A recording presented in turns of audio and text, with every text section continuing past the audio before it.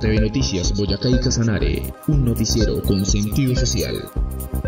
El líder político Arsenio Sandoval aspira a la alcaldía de Yopal en las próximas elecciones atípicas.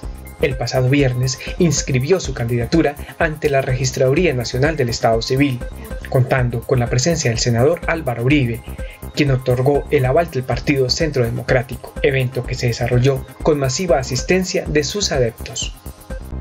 TV Noticias Boyacá y Casanare, un noticiero con sentido social.